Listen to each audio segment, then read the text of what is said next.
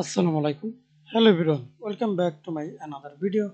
In this video, how to take out numbers from text in Excel. Okay. Let's begin. Select text. Example, I select two cells text. Go to Tools, tap Extract Text, and select Extract the number. Click OK. Select cells location locations. Now see this extract number. Again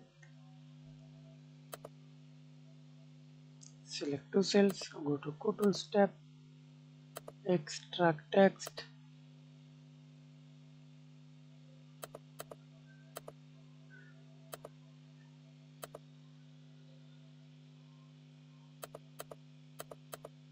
see number and text.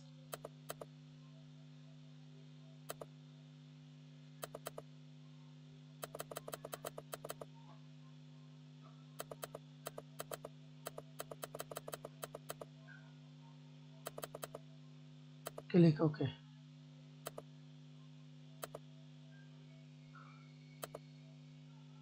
Thanks for watching video. Please subscribe to my channel like comment share